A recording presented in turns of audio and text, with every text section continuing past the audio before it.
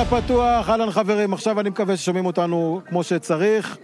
לא חיבלו בציוד למי ששאל, תקלות שקורות.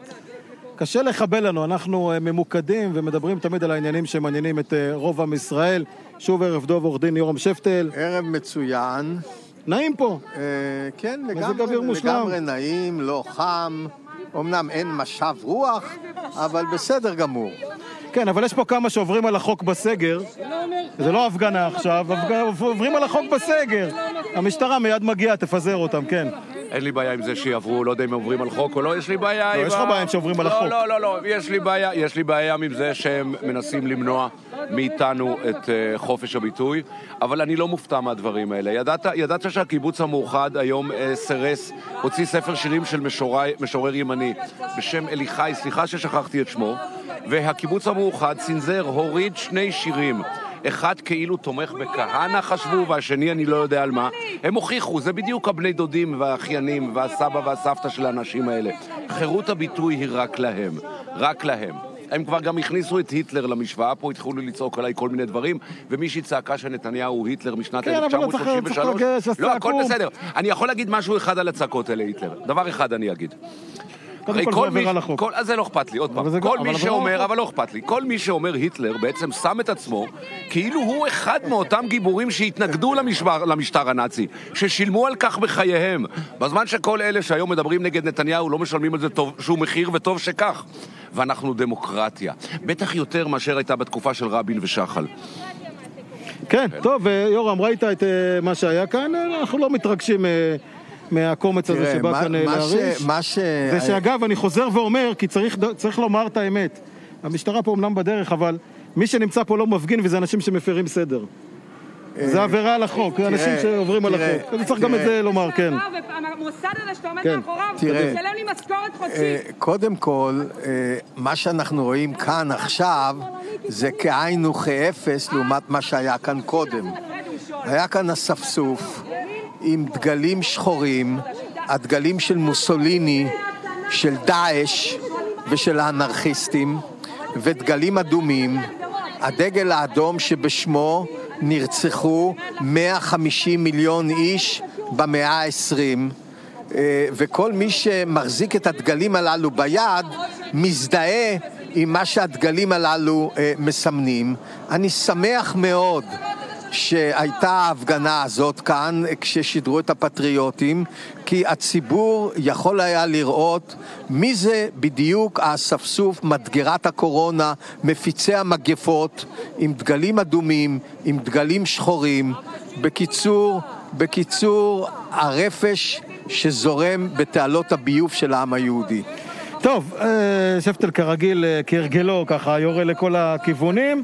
אני פחות אה, בהגדרות, אני יותר, אתה יודע, לא מתר... אני מסתכל על שני דברים. אחד, כל אחד שיפגין מתי שהוא רוצה ואיפה שהוא רוצה על פי חוק. היום יש את הנושא של הקורונה, ואנחנו יודעים מה אומר הנושא הזה. ואתה יודע, מה שראינו פה עכשיו, נתתי דוגמה של מפירי סדר, וזה מה שקורה כל הזמן, כן. תראה, מפירי סדר, הרי אם היו צועקים דברים מהימין והם מחלקים לנו עוגות, זה לא היה מפריע לך.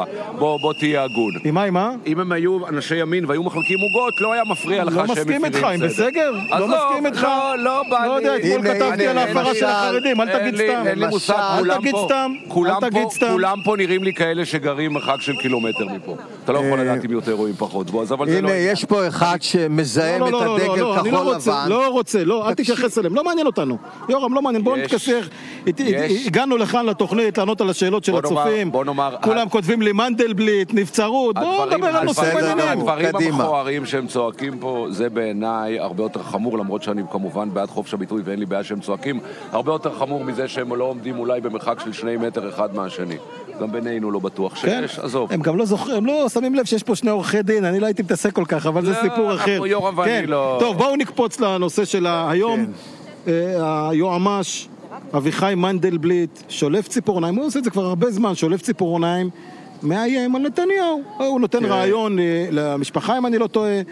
וה- ההקלטה מהרעיון הזה מודלפת כדי שישמעו אותו. אה, באיומו על ראש הממשלה נתניהו בנבצרות. תראה, אה, מנדלבליט, אחוז תזזית אישית קשה, שמשבשת לחלוטין את הלך מחשבתו בכל הנוגע לנתניהו.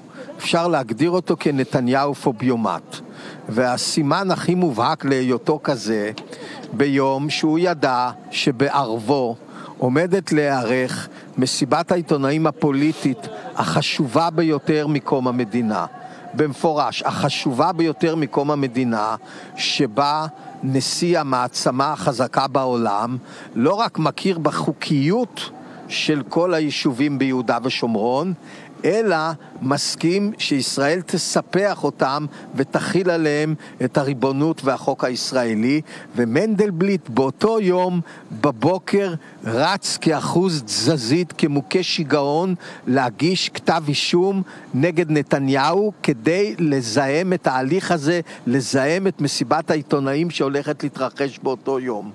בעשותו כן העיד על עצמו דבר אחד, הוא פועל ממניעים אישיים פסולים ונמוכים, שאין פסולים ונמוכים מהם בנמצא. עכשיו, בהקשר הזה כמובן, כאשר ההפיכה השלטונית נחלה כישלון חרוץ, כי הרי את כתב האישום הוא הגיש אך ורק כדי שנתניהו היום כבר ישכח מתי הוא היה ראש ממשלה, ונתניהו הוא ראש ממשלה, ואני משוכנע שביום העצמאות השמונים, שוב, כמו ביום העצמאות ה-70, כמו ביום העצמאות ה-50, בטקס הדלקת המשואות, הוא עדיין יהיה ראש ממשלה, על אפו ועל חמתו של מנדלבליט. עכשיו, העניין הזה שמנדלבליט נכשל שוב ושוב בהפיכה השלטונית שהוא זומם נגד נתניהו, ועכשיו הוא יורד לאיומים בוטים, חסרי כל בסיס משפטי, חסרי כל בסיס עובדתי. מה זה נבצרות? נבצרות זה מי שלא יכול... למלא את תפקידו, וב-99% מדובר במה? במצב רפואי. מה הקשר? אפילו נניח שמה שמנדלבליט אומר זה נכון, שנתניהו, הראש הממשלה, מסייע לנתניהו האזרח הנאשם. נניח שזה נכון, זה שקר מוחלט, אבל נניח שזה נכון, כן? אין בכך שום פסול ואין בכך רמז חוקי לנבצרות. אין בכך שום רמז חוקי לנבצרות. למעט העובדה זאת... שבפסק, תקשיב, הייתה, היה הרי בזמנו בג"ץ אה, נגד אולמרט. ושמה בהערת אגב, הם מאוד, מאוד אומרים לומר הערת אגב כאלה על מנת לאיים. הם אמרו שהרשימה של, הדבר, של הסיבות שבגללם ראש הממשלה אה, עשוי או עלול להיכנס לנבצרות היא לא סגורה, והם יכולים להחליט, ובטח ובטח ובטח הם הכניסו את הפתח להחליט גם דבר כזה, ומי הם כתבו? הם, שים לב מה הם כתבו, הם ממציאים חוקים, בג"ץ, שהיועץ המשפטי הוא זה שיכול להכריז על נתניהו, זאת אומרת הם המציאו, הם כבר בנו סצנריו, ועדיין אני אומר, ככה. לא יקום ולא יהיה. לא, לא יקום ולא יהיה. אם חס וחלילה הוא יעז, בית המשפט העליון יפחד. הוא לא יחליט שפקיד בכיר ככל שיהיה מחליט ראש. בואו ברשותכם נצא רגע להפסקה קצרה, מיד נחזור כאן להבימה שקט. אנחנו מיד מיד חוזרים.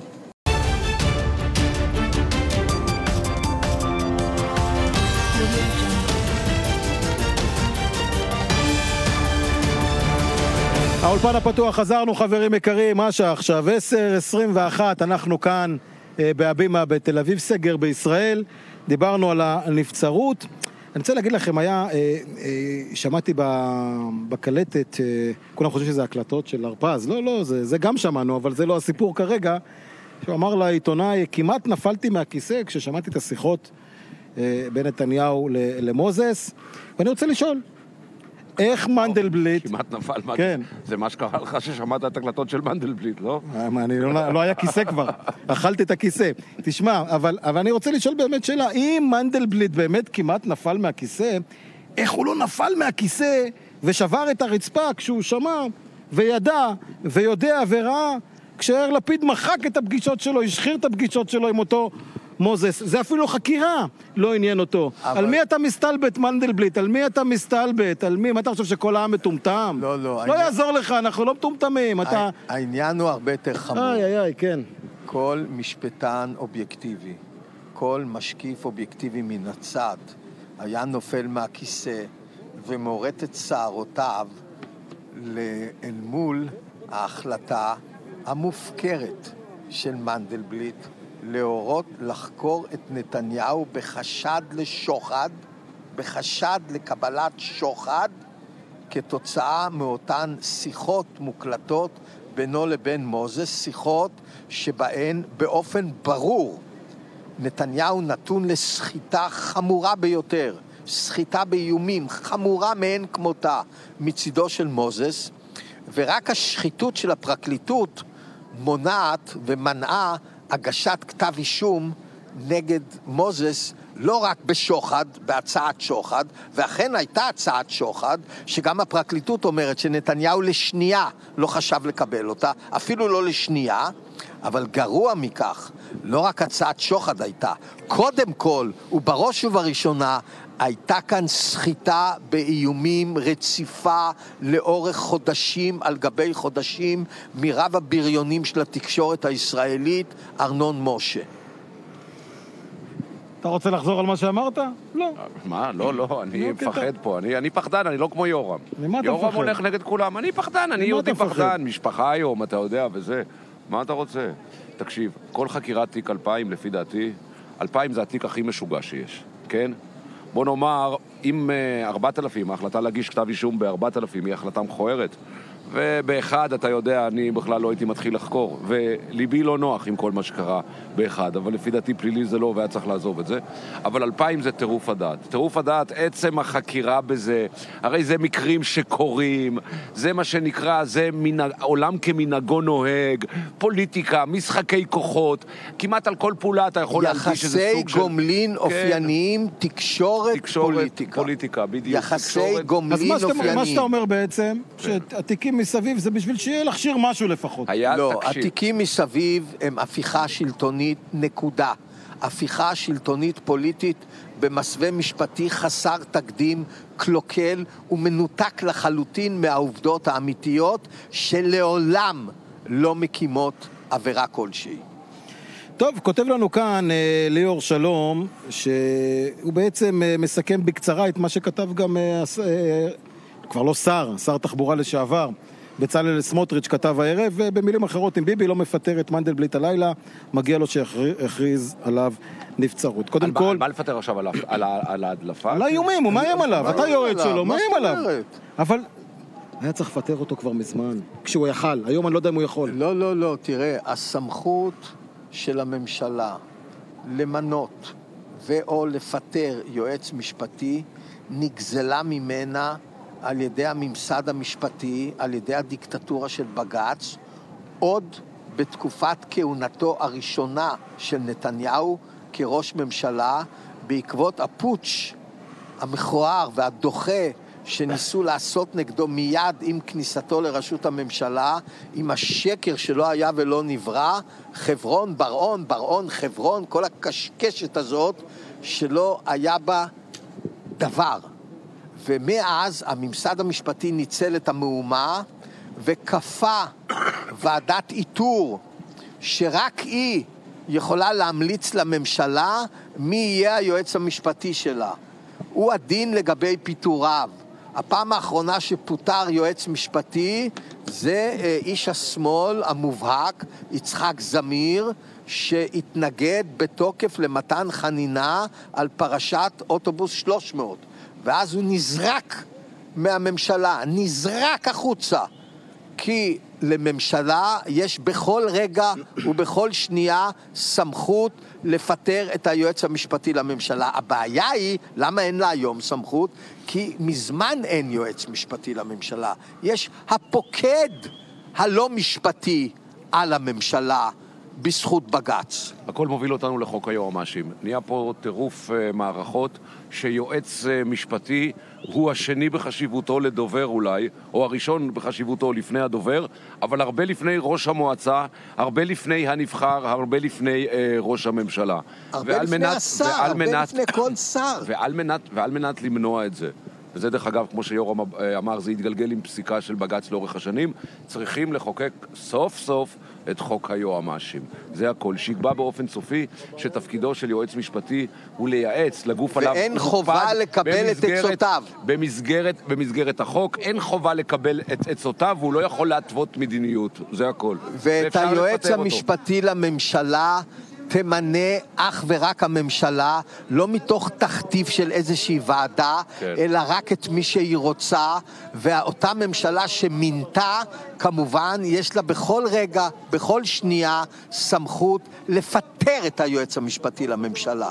שבמקרה שלנו, לא רק שהוא מתגלה כנתניהו פוביומט, אלא גם אז כמלך למה- אז הקורונה. תסבירו לי למה זה לא קורה. משום שאני 700 אומר. משום שאני אומר לך. אם הממשלה תחליט היום, ובצדק, לפטר את היועץ המשפטי לממשלה, מחר בג"ץ יוציא צו ביניים נגד הפיטורים, ובתוך חודש יוציא פסק דין שהפיטורים אינם תקפים ולממשלה אין אבל סמכות עדיין זו אמירה. לפטר. אבל עדיין זו אמירה. זה- זו אמירה שאנחנו איבדנו בך כל אמון, לא רוצים אותך. זה נכון, אבל תראה, זה אה, לשפוך את המים עם התינוק. זאת תהיה תבוסה מוחלטת של הממשלה.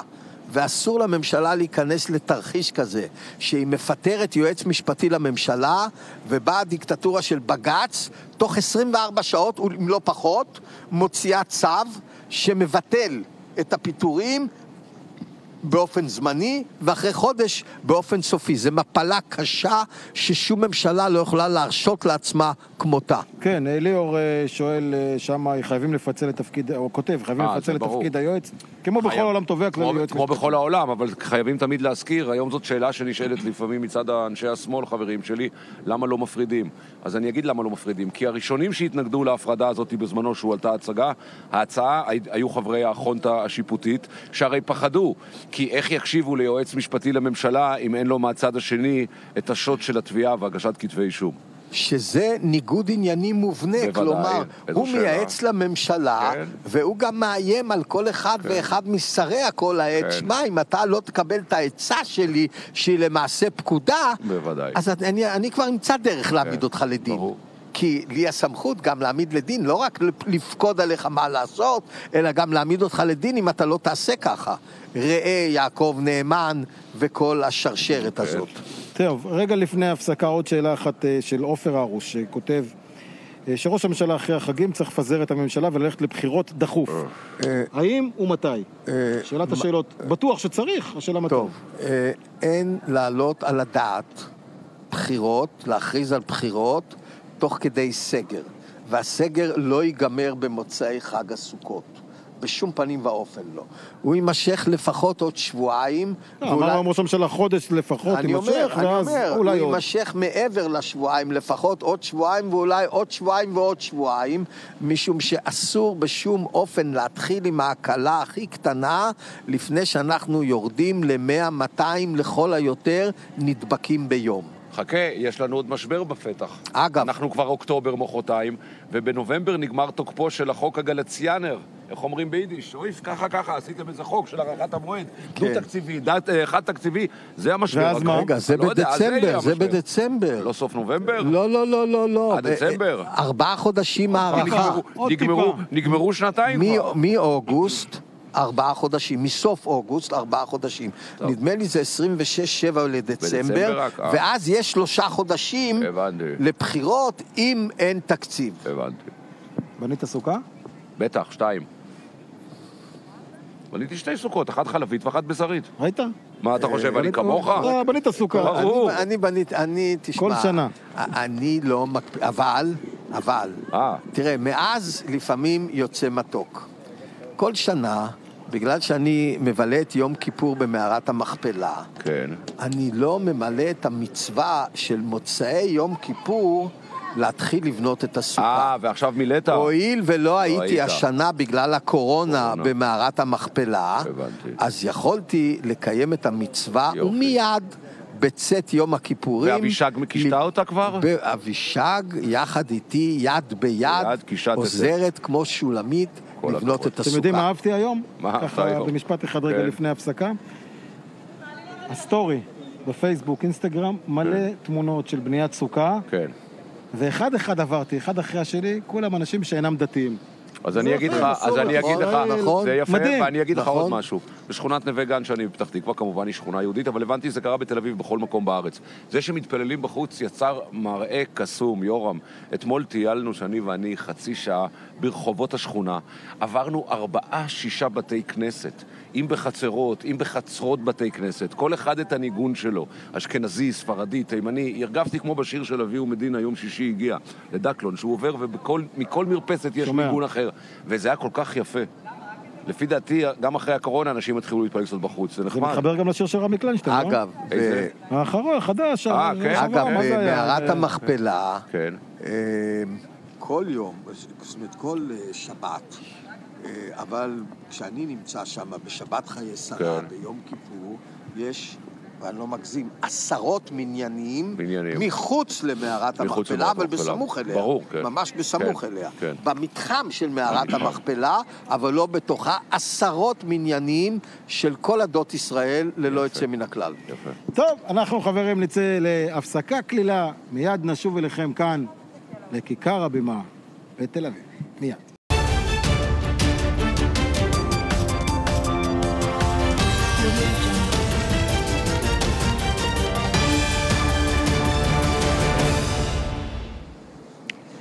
שלושים ושבע דקות אחרי השעה עשר, בא סגר, אנחנו כאן אה, בתל אביב, האולפן הפתוח, באוויר הפתוח, בסך הכל אה, תענוג. התלבטתי אם לקרוא את התגובה הזאת או לא, אבל אני אקרא ככה בלי להתייחס. לא להתייחס. ויקטור שרביט כותב, מנדלבליט לא צריך תרנגול לכפרות, הוא צריך בת יענה.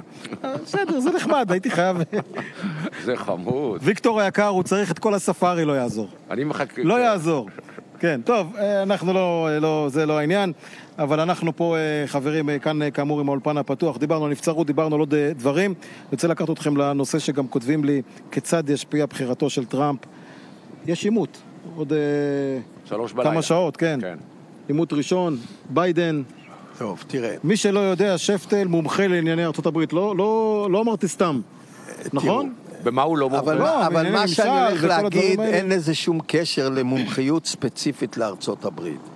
לדעתי, הרפובליקאים כבר חודש שלם עושים טעות, והיא, הם מציגים את ביידן כתת אפס, ככלומניק, כבן אדם שלא מסוגל להוציא משפט אחד רהוט מהפה. ולכן, מה שהולך לקרות, מה שעלול לקרות בעימות זה הדבר הבא. טראמפ יהיה יותר טוב, על זה אין ספק. אבל, והתקשורת תגיד שהוא היה פחות טוב, אבל זה אין ביידן לא יתרסק. כן. לא יתרסק, לא יאמר איזה שטויות מיוחדות, ואז כל התדמית שניסו הרפובליקאים אה, ליצור סביבו, תתנפץ לעיני העם כולו, מה שנקרא, וזה עלול להיות בומרנג לא פשוט.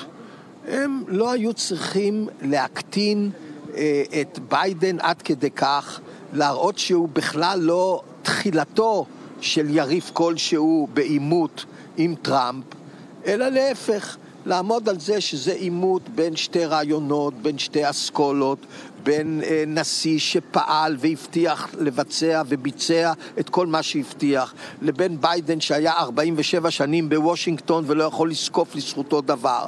דברים כאלה כן, אבל אה, לעשות אותו אפס מוחלט, אפילו שהוא באמת די אפס, הנה. אבל דווקא. לקראת, דווקא לקראת עימות... יורם, אבל זה מסוג הדברים, אתה יודע... דווקא לקראת עימות לא היה צריך להקטין אותו עד כדי כך, לא במדע. ולומר שזה תהיה תבוסה איומה ונוראה. ומצד שני יכולים לבוא ולומר איך אתה יכול לפספס את פליטות הפה, את המעידות האלה, אז- את השטויות של ביידן, אז בוא נראה שהם יהיו. עליהם. אז בוא לא, נראה שהם היו, יהיו. דיברו על דברים... אנחנו מדברים על העימות שיהיה, לא על לא על תראה, הפליטות תראה, פה תראה, שהיו. יו"ר המומחה, אני לא מומחה בכלל, אני רק יכול לכבד כי זה הבחירות הכי חשובות.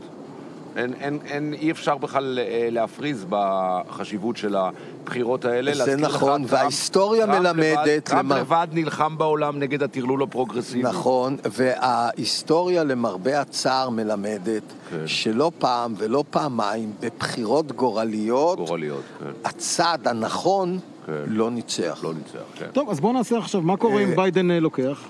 מבחינת אה, ישראל כמובן, זאת השאלה מדבר על ששאלו אותנו. 92 גם, אני... אם אה, ביידן לוקח, קודם כל, הוא לא יחזיר את השגרירות לתל אביב. ממש לא. כן, אבל זה לא הנושא ה... רגע, אני, אני אומר לך, הוא אפילו הצהיר שהוא לא הולך לעשות את זה. והוא לא הולך לעשות את זה, אפילו שיהיה עליו לחצים כבדים לעשות את זה מצד מי? היהודון ברני סנדרס. ברור. כן? כן.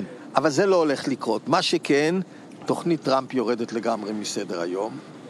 לא תהיה לא שהיא קיימת נמצאת על. סדר היום, היא רק נמצאת בדיבור, זו תוכנית שבמילא לא הייתה יוצא ממנה שום דבר. אני לא, שום דבר. אני לא מסכים, אני לא מסכים, כי, כי מה שקורה עכשיו איתנו והעולם הערבי זה תוצאה של תוכנית השלום, זה מרכיב מרכזי בתוכנית השלום הזאת שלו, שלא תביא בשום אופן... כן, אבל עם איחוד האמירויות אנחנו מדברים עוד הרבה לפני שטראמפ חלם בכלל להתמודד. אבל יש הבדל, זה לא תוכנית השלום. אבל יש, לא, סליחה, זה השלום היחיד שנחתם עד היום, זה עם בחריין ועם איחוד האמירויות. אין לנו שום שלום עם ירדן, ולא היה לנו לרגע, אין לנו שום שלום עם מצרים. הפסקי לוחמה, הפסק לוחמה. עם זה מצרים, בדיוק, עם מצרים יש לנו הפסקת לוחמה תמורת שטח גדול פי שתיים וחצי מהשטח של מדינת ישראל. מפורז. ואני אומר, אני אומר, הכל עם סידורי אי לוחמה. נכון. סידורי אי לוחמה בסדר. תמורת שטחים, כן, ואותו ארי. דבר בדיוק. כן. ואותו דבר עם. ירדן. ואותו אין שום כן. יחסים. אנחנו 44 השאלה שנים, מה ההגדרה שלך לשלום? זה אנחנו הכל. 40, תראה, שלום, אני יכול לנסוע לקהיר מחר? אני יכול, אז כן, זה שלום. אבל... לא בטוח שאתה יכול לחזור. אה. לא, לא, לא, אבל, כן. אבל, אבל 44 שנים לא מאז שסאדאת היה פה, ועוד לא היה משחק אתה כדורגל. יכול- אה, נכון. אתה יכול- עוד לא היה משחק כדורגל. תראה איך אתה מדליק אותו, אתה רק אומר את המילה כדורגל, לא, טאק זה נדלק. השיינה שולם, כמו שאומרים לא, עדיף- ביידיש. עדיף שלא נשחק. השיינה שולם. אבל לכם, כן. להפועל תל אביב טובה הקורונה. מצוינת, לא הפסדנו כבר הרבה לא, זמן. זהו, אתם אתם גם כן, נשארים בליגה תקופה ארוכה. נשארים בליגה תקופה ארוכה, הכל בסדר. כן, מה רע? תראה, אנחנו נמצאים, אתה מסתלבט עליי ואני מאחל למכבי חיפה השנה לקחת אליפות, אתה מבין את יש ההבדל? לנו עכשיו נגד זה- לא, התרנגולים. כן, זאת אומרת. תראה, אצל ארי, שהשטן ייקח אליפות, נכון. רק לא מכבי. מי יהיה נכון. בתרנגולים ממכבי חיפה? לי- בתרנגולים? מי מי שיחק? בטוט- בטוטנאם, אה, אה, ההוא, נו, ווליד רוני רוזנטל. רוני רוזנטל. כן. בטוטנאם גם שיחק, כן, לא רק באיזה... בוודאי, אני חושב לא ששם רק- אפילו זאת הייתה קבוצה. רגע, נכון, רגע, נכון, אבל נכון, לא, רוני רוזנטל- רוני רוזנטל, אה. במלוא רגליו נפולות הנמושה, כי הוא הרי יורד עלוב מהארץ, אוי, הביא אליפות לליברפול. לליברפול, כן. הביא אליפות לליברפול, ממש ככה. ויוסי בניון כמעט הביא גביע אלופות. ל- נכון. מה לעשות, זה חלק כן, מהזה. כן. אבל אני אני אבדוק את הנושא הזה של רוני רוזנטל, מיד אני ככה עם מי אגיד אתה לך. מתכתב? מה אתה מחפש? עם גוגל, אה, אני מתכתב עם גוגל הרבה. אה. לא מעט אני מתכתב עם גוגל, אבל זה מעניין כן, אותי, רוני. רוזנטל. לא התחיל בליברפול. מאוד אוהב את האיש, השחקן ענק. מסוג השחקנים שהיו פעם ככה כן. רצים כמו זה. טוב, בוא נעבור למה שיוכי כותבת לנו כאן, כחול לבן. כחול לבן. סיפור של כחול לבן, אנחנו רואים את גנץ ואת כחול לבן. אני לא מדבר על הסקרים עם אחד אה, ספרתי, כן. לאיפה זה הולך עם כחול לבן? מה, מה יהיה מכחול לבן בבחירות הבאות? שיהיו בקרוב. תראה, אם הסקרים, הסקרים שקרים, מלכתחילה ייתנו שמונה, תשע, זה עלול להסתיים בזה שהם לא יעברו את אחוז החסימה. זה עלול, אם מלכתחילה הסקרים יהיו על חד ספרתי, אז אין שום סיבה להצביע בעדם. הרי הסיבה שהצביעו אנשים בעד כחול לבן, חשבו שהם חלופה שלטונית. ברגע שהם אה, מפלגה בסדר גודל יותר קטן מה שהמפד"ל של פעם, אין לאף אחד עניין להצביע בעדם. אלה שבהשקפה דומה יצביעו במקומות אחרים, לא חסרים. הם יכולים לא לעבור את אחוז החסימה, במפורש. לא לעבור את אחוז החסימה? מי לא יעבור את אחוז החסימה? כחול לבן? כחול לבן. לא, כחול לבן אני אמרתי כבר לפני מערכת הבחירות הראשונה שהם התמודדו, שזה מפלגה חד פעמית. לא משנה מתי. עכשיו זה הכל כזה. אותו דבר. בדיוק, ברור לחלוטין, איזה שאלה. יבואו, תראה, תמיד ימציאו מחדש את המחנה אנטי. ותמיד הוא, זה כמו פלסטלינה, אתה מבין? וכמו בועות אוויר. תשאיר רק את המיקרופון ילך- לידך, כי אתה נשמע כמו אחד בועה. ילך לפה, אחד שני ילך לשם. זה התחיל עם כן. יגאל ידין, יגאל ידין, כן. ולא נפסק מאז. נכון, אבל כל פעם יש לנו אה, מפלגת אווירה חדשה. בשתי, נכון, אבל בשתי דבורים, שעם יגאל ידין זה לפחות התחיל איכשהו נגד, נגד הרעים וזה הביא את המהפך, ושהוא עוד איכשהו היה בן אדם ראוי, נכון? יגאל ידין. תראה, אה, זה לא בדיוק הביא את המהפך. זה עזר. אני אגיד לך למה. למה? לא, אני אגיד לך למה. כי כל המצביעים של ד"ש ומפלגת העבודה לא מונעים את העובדה שלמנחם בגין לאחר הבחירות היו 62. עדיין. היו עדיין, 62. זה עזר. כן, טוב, בדקתי את עניין אה, רוני רוזנטל. כן, ליברפול. רוזי, הייתה גם החמצה, זוכר שהייתה לו החמצה אחת כן, אה, שכולם. אז זה היה במדי, כן. כן, אבל מאז היו עוד החמצות להרבה שחקנים גדולים, כנראה שהם שחקנים, גדולים. כן. כן, אבל... ארבע שנים כן. במדי התרנגולים, ואחר כך לווטפורד. ווטפורד, נכון. נכון, נכון. והפך להיות סוחר ונשאר שחקנים. ונשאר סוחר שחקנים, באנגליה, אה, וזה כן. לא נפולת של בוא. נגיד, כמי שהתעסק גם אני עם שחקנים אל תרד בארץ. לרמה של רבין. כמי שהתעסק עם שחקנים, גם אני בארץ, כן. במשך תקופה, כן. מתעסק עם. שחקנים בכדורגל זה בחו"ל, כן. זה לא בארץ. כן. גם קצב פה עשה עסקים, אבל עם ספרד. כן. בניון וכאלה. טוב, ברחנו רגע, אנחנו רואים שארי פה, כדורגל. יש לנו אפילו. אוהדים שעושים רע, זה טוב. רק אתה מסכים. כן, טוב, אה, לילך כותבת, לילך. תפרגן לשפטל, הוא היחיד שצדק לגבי ליאת בן ארי, שיכשיר אולי את הכל. מפרגן, הוא צודק.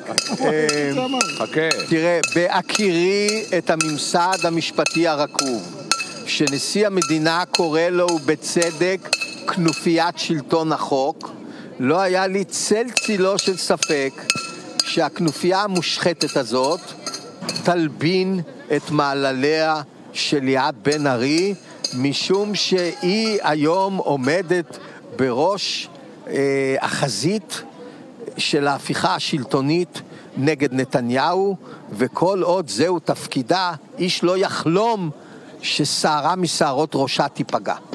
עכשיו תאמר לי רגע מה יקרה עם אה, מושב חירות, ששם זה סיפור אחר לגמרי, עבירות הרבה יותר חמורות, שנמשכות עד לרגע זה ביודעין. זה נמשך 16 שנים, 16 שנים אחרי הערת פקח ואחרי שהם התחייבו לטפל בזה. זה עשוי, או עלול ליתר דיוק, להימשך עוד 16 שנים.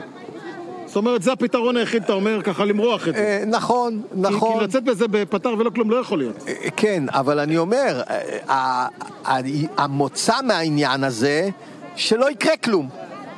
שלא יקרה כלום. פשוט מאוד. ימרחו, ישנו, יעבירו את זה מוועדה לוועדה, מתובע לתובע, מבדיקה לבדיקה, מבג"ץ לבג"ץ. מה- והכל, תחנות הצדק כאן יטחנו הכי לאט שתחנות צדק יכולות לטחון. אתה רוצה מילה להגיד? לא, לא, לא, אז לא, אחרי לא. ההפסקה אני אשאל את שניכם משהו בנושא של ליאת בן ארי, שהיא מודה שהיא ביצעה את. העבירה הזאת. הפסקה אחרונה ואנחנו מיד חוזרים כאן לתל אביב.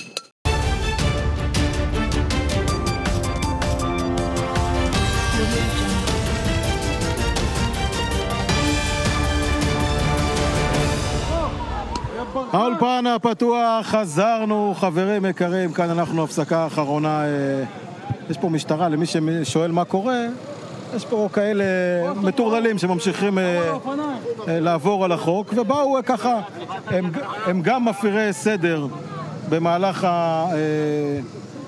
הנחיות, יש הנחיות, פה זה לא הפגנה, ואנשים שמסתובבים סתם, הפרת, לא מפירי סדר, מפירי סגר. כן, לא, שאתה אמרתי עם את שלך, אתה אצלך בתחילת מבחינתך כל המדינה התוכנית. יכולה ללכת לא, זה, בלי חופ- מסכות. זה חופש הביטוי. כן. הם, אני, את, את, ב- בשטויות שהם צעקו, הם ביזו את עצמם לפי דעתי. ולא בטוח שצריך לערב משטרה, והנה הכל בסדר. טוב, בואו בוא נחזור רגע, דיברנו על, על ליאת בן ארי, ואני רוצה לשאול אתכם שאלה.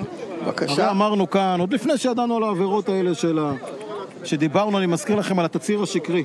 כן. שהוכח שהוא שקרי, אין פה הרבה כן. משחקים. זה שמנדלבליט, זה היה ברור שזה יקרה. וגם בעניין הזה אני אמרתי חד משמעית, אין צל צילו של ספק שמדובר בתצהיר שקר מובהק, ודווקא בגלל זה לא יהיה כלום. דווקא בגלל זה לא יהיה כלום. אבל עכשיו אני רוצה לשאול אותך. כן. אמרנו שאדם, שיש אפילו עליו גרגר של עבירה או משהו דומה, לא יכול להיות בתפקידים האלה. עד כאן נכון? נכון. על פי הנוהל, לא אה, על פי הרגשה שלנו, כן. אוקיי? היא הודתה במילים שלה היום שהיא ביצעה עבירה. לא ידעתי, לא זה, אבל לא ידעתי, לא פוטר מעונש. לא ידעתי שלא עצרתי נכון. לא, ועצור, לא רק הנה, זה, יגידו לך פה גם השוטרים, לא לא פוטר. ידעתי, לא יכול לבוא מפי פרקליטה בכירה בפרקליטות המדינה. עד כדי כך בכירה שהיא התובעת הראשית שמנהלת את המשפט נגד נתניהו. לא ידעתי, אתה יכול להגיד, אבל לא ליאת בן ארי.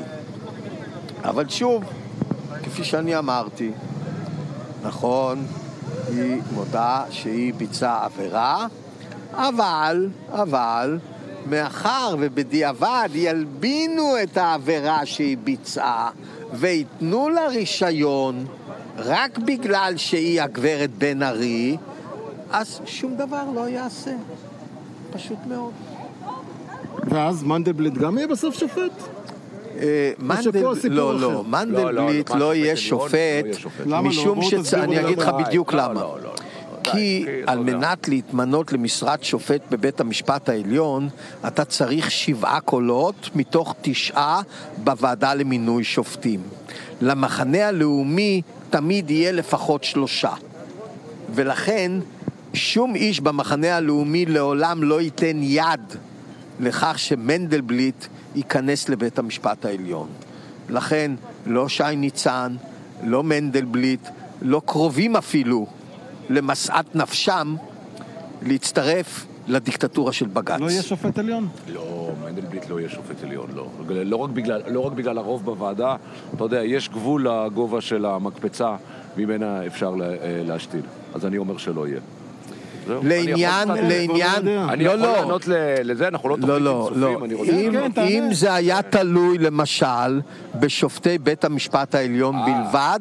הוא היה מתמנה לאחר כבוד. לשופט בבית המשפט אם זה היה תלוי העליון. בהם בלבד, גם את אולמרט הם היו ממנים. עזוב, זה לא ככה. לא, צריכים אותו עכשיו כן, לרעיונות, כן, לא, אני אל רוצה תפריע. להגיד מזל טוב לתמי לוי, אחותי, החברה הכי טובה שלי. כן, אז זה מה שרצית היא- לקרוא? לא, ב-23 בספטמבר, היה לה יום הולדת. תמי, מזל טוב, אוהבים? אותך. כמה בעברי? כ"ג בחשוון. אתה יודע מה אתה מזכיר לי? אתה יודע. את מה אתה מזכיר לי? ששאלתי את לריסה לפני כמה זמן, מתי הבר מצווה של אליה ינון שלום. בן של יגאל עמיר כבר בר מצווה. אז היא אמרה לי בחשוון, הייתי צריך להתקשר לשפטל לשאול מתי זה חשוון, אבל זה בנובמבר.